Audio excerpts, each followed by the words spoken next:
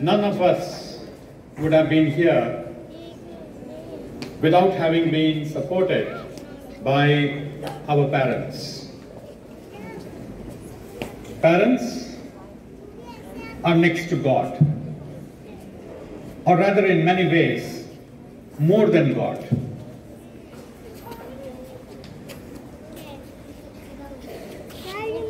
Our religious texts teach us that more than going on the pilgrimage, we can earn more blessings by taking care of our parents, by being obedient to them.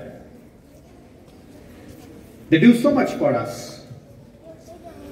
You all can reflect that how they must be preparing you in the morning to send you to the school to get educated. When you go back home, your mothers are waiting for you to come back home.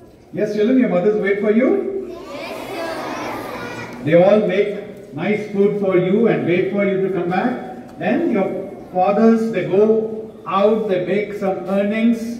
Even many cases, mothers are also earning. All that they are doing is for you. And in return, what do they want? They want that when you're coming to school, when they come to school, they should hear something nice about you. That is the gift that you can give back to your parents. When your parents come and interact with your teachers on open days or on some other days also, or when they meet them in the marketplace,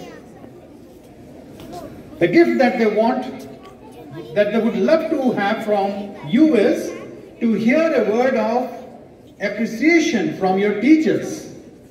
That your child is doing so well, your child is so obedient. And when you get prizes, your parents, when they come to school, how do they feel? They feel nice or bad? They feel nice. They feel happy. So always try to give that happiness to your parents. Will you do that, children? Great. Now, as announced earlier,